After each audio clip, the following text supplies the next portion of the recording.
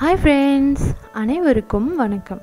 இன்றைக்கி நம்ம ஒரு சூப்பரான சிக்கன் பிரியாணி தான் பார்க்க போகிறோம் இந்த டெலிஷியஸான சிக்கன் பிரியாணி ரெசிபி நம்ம வீட்டில் இன்றைக்கி எப்படி பண்ணுறது அப்படின்றது தான் பார்க்க போகிறோம் அதோட நான் டைட்டிலில் கொடுத்ததுக்கான மீனிங்கும் இந்த வீடியோவில் எண்டில் கொடுத்துருக்கேன். ஸோ வீடியோவை ஸ்கிப் பண்ணாமல் ஃபைனல் வரைக்கும் பாருங்கள் ஃப்ரெண்ட்ஸ் இந்த ரெசிபி பண்ணுறதுக்கு இன்றைக்கி நான் ரெண்டு டம்ளர் அளவுக்கு பாஸ்மதி ரைஸ் எடுத்திருக்கேன். இன்றைக்கி நம்ம எடுத்த ரெண்டு டம்ளர் அளவுக்கு பாஸ்மதி ரைஸையும் ஒரு பாத்திரத்தில் சேர்த்து நம்ம நல்லா க்ளீனாக வாஷ் பண்ணி எடுக்க போகிறோம் ஸோ நம்ம எடுத்து வச்ச அரிசியை ஒரு தடவை கழுவி எடுத்துக்கலாம். ஒரு தடவை கழுவினாலே போதுமானது. அதுக்கப்புறமா இதில் தண்ணி ஊற்றி ஊற வைக்க போகிறோம் பொதுவாக நம்ம சிக்கன் பிரியாணி கடையில் போய் சாப்பிடுவோம். ஸோ இந்த டைம் நம்ம வீட்லேயே இவ்வளோ டெலிஷியஸாக பண்ணலாம். எஸ் நீங்களும் ட்ரை பண்ணி பாருங்கள் ஃப்ரெண்ட்ஸ் இப்போ தண்ணி ஊற்றியாச்சு இந்த அரிசியை ஒரு ஆஃப் அன் ஹவர் ஊறட்டும்.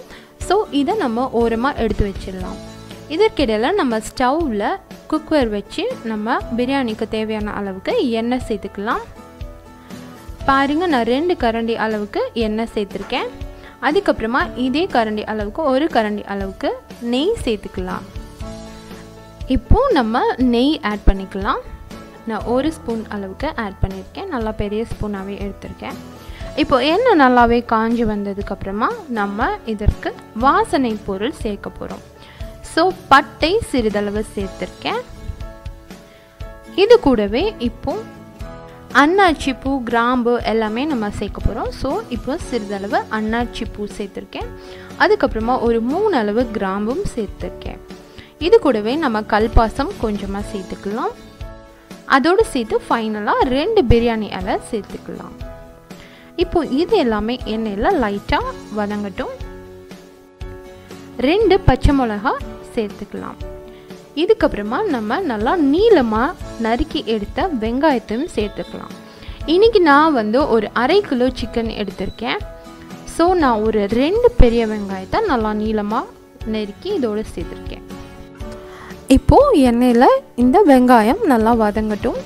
இதற்கிடையில் இஞ்சி பூண்டு விழுது சேர்த்துக்கலாம். பாருங்கள் இந்த அளவு சேர்த்தாலே போதுமானதாக இருக்கும். ஏன்னா இஞ்சி பூண்டு விழுது அதிகமாக சேர்த்தோம் அப்படின்னா நம்மளுக்கு இன்னும் காரம் கொடுக்கும். ஸோ ஆல்ரெடி நம்ம பச்சை மிளகாய் ஆட் பண்ணியிருக்கோம். இது கூடவே நம்ம மிளகாய் தூளும் ஆட் பண்ண போகிறோம் இப்போது இது போல் நல்லா வதக்கிடுங்க. இஞ்சி பூண்டு ஸ்மெல் எல்லாமே போயிடட்டும்.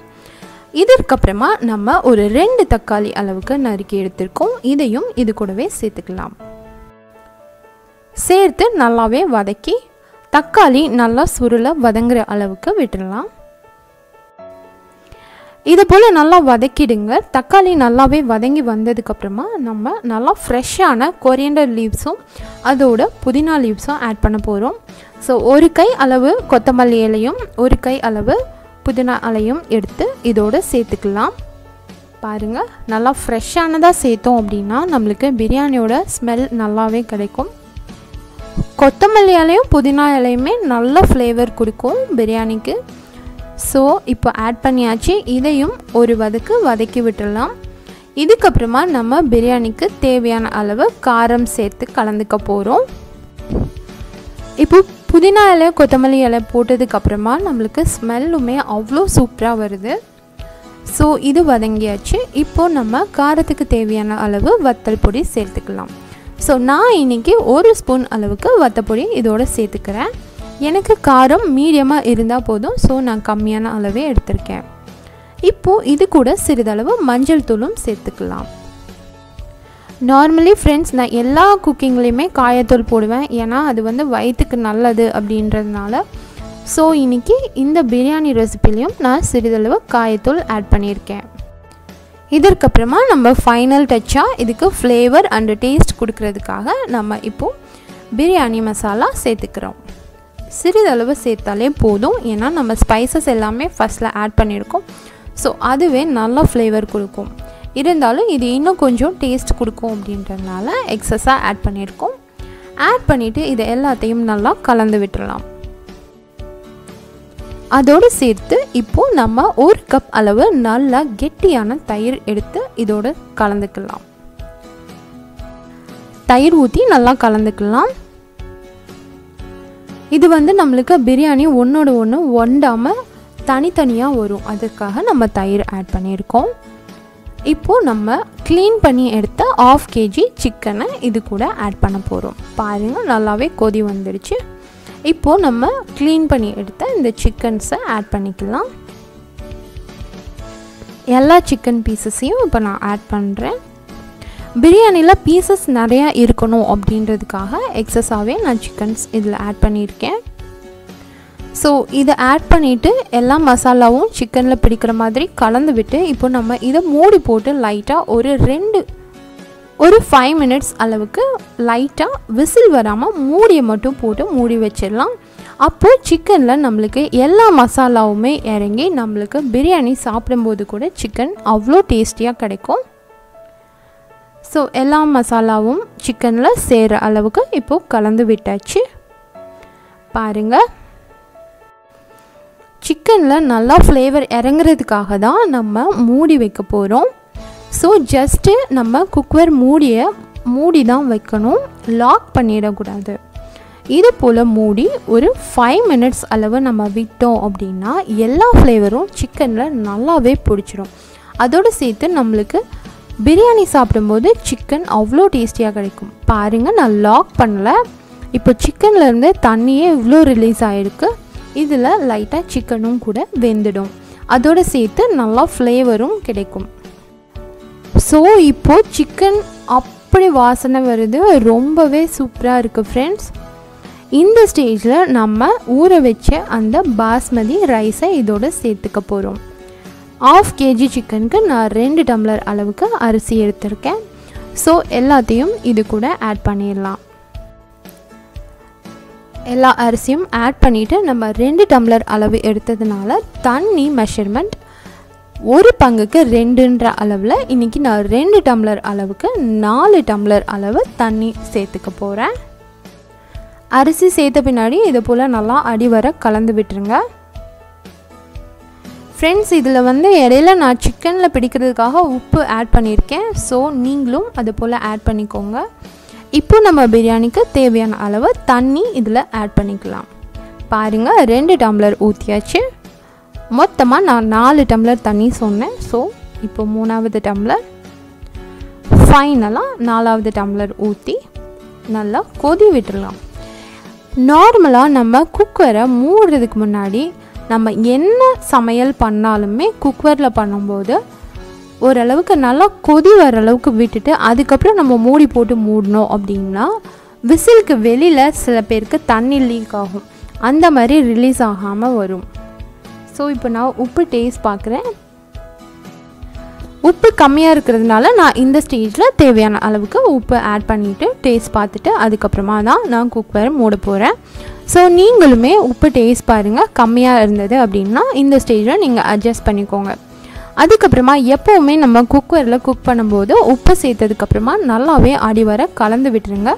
அப்போ தான் நம்மளுக்கு எல்லா இடத்துலையும் ஈவனாக உப்பு தெரியும். பொதுவாக நம்ம பானையில் பொங்கும்போது நம்ம உப்பு கலந்து விடணும் அப்படின்னு அவசியம் இல்லை. பட் குக்கரில் வைக்கும்போது கலந்து விடணும். அப்படி இல்லை அப்படின்னா உப்பு எல்லாமே அடியில் போய் தங்கிடும். ஸோ இப்போது எனக்கு உப்பு போதுமானதாக இருக்குது.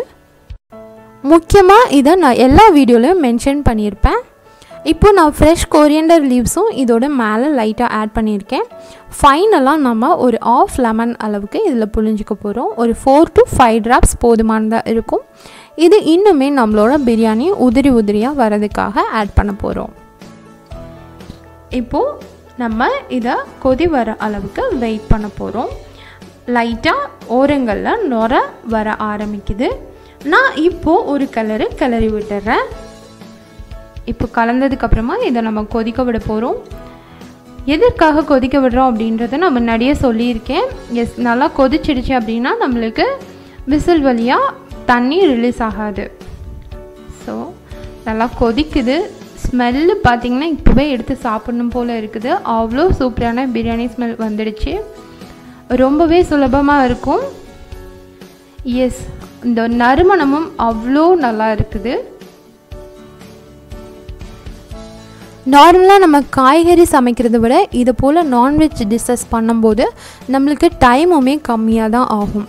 எஸ் ஒரு தேர்ட்டி மினிட்ஸ் ஒதுக்கணும் அப்படின்னா நம்மளோட சுவையான சூப்பரான சிக்கன் பிரியாணி தயாராகிடும் பாருங்கள் சூப்பராக இருக்குது. ஸோ நல்லாவே கொதி வந்துடுச்சு. இப்போது நம்ம இந்த குக்கரை மூடிடலாம். நல்லா லாக் பண்ணிவிட்டு ஃப்ளேமை லோவில் வச்சு ஒரு ஒன் விசில் வர அளவுக்கு நம்ம இதை விட்டுடலாம். கொதி வந்து ஹீட்டாக இருக்கிறதுனால லாக் ஆகல ஃப்ரெண்ட்ஸ் ஓ oh. பார்க்குறேன் நல்லா ப்ரெஷரும் கொடுத்து பார்த்துட்டேன். லாக் ஆக மாட்டேங்குது. ஃப்ளேமை நல்லா லோவில் வச்சுட்டு இப்போது கேஸ் கட்டையும் டைட்டாக சுற்றி விட்டுட்டு லாக் பண்ணியிருக்கேன். எஸ் இப்போ விசில் போட்டு நம்ம ஒன் விசில் விட்டு எடுத்தாச்சு. இப்போ கேஸ் ரிலீஸ் ஆயிடுச்சு நம்ம ஓப்பன் பண்ணலாம். ஒன் விசில் விட்டாலே போதுமானது. இப்போ அந்த அளவுக்கு தான் நான் விட்டிருக்கேன். நல்லாவே வெந்து வந்துடுச்சு. பாருங்கள் நம்மளோட சூப்பரான சுவையான சிக்கன் பிரியாணி தயாராகிடுச்சு இதை அப்படியே நம்ம லைட்டாக கிளறி விட்டு எடுத்து பரிமாறிட வேண்டியதான் ஸோ பாருங்கள் நான் உங்களுக்கு காட்டுறேன். வா அப்படியே உதிருது. அவ்வளோ நல்லா டெக்ஸ்டர் கிடச்சிருக்கு. பட் இதில் என்ன ப்ராப்ளம் அப்படின்னா கொஞ்சம் தண்ணி கூடிட்டு ஃப்ரெண்ட்ஸ் பட் அது வந்து ரொம்ப வித்தியாசமாக தெரியல. நார்மலாக நம்ம சிக்கன் பிரியாணிக்கு வந்து சிக்கன்லேருந்து தண்ணி ரிலீஸ் ஆகிறதுனால ஒரு கால் டம்ளர் அளவுக்கு நீங்கள் தண்ணியை வந்து கம்மியாகவே வைங்க. நல்லா சூப்பராக பொழ பொழன்னு வந்துடும்.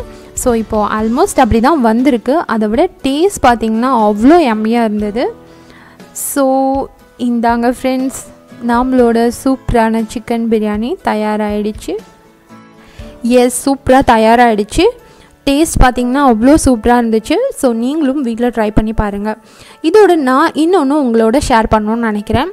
என்ன அப்படின்னா நம்மளோட டைட்டிலில் ஷோடி சிக்கன் பிரியாணி அப்படின்னு கொடுத்துருந்தேன். எஸ் சில சில சுதப்பல்களை உங்களோட ஷேர் பண்ணுறதுக்காக தான் நான் அந்த டைட்டிலில் வித்தியாசமாக இருக்கட்டும் அப்படின்னு சொல்லி கொடுத்துருந்தேன்.